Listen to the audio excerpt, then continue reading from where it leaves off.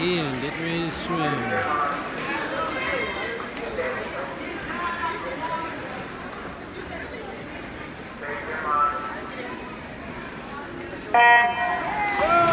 There you go.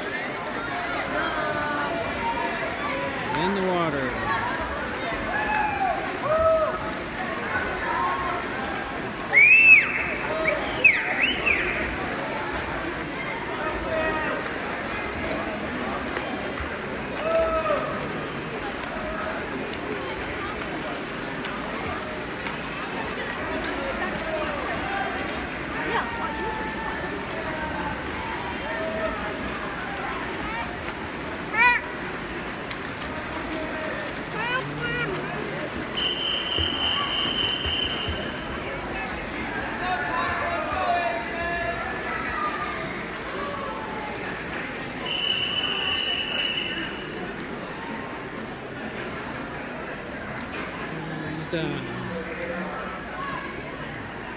job, Ian.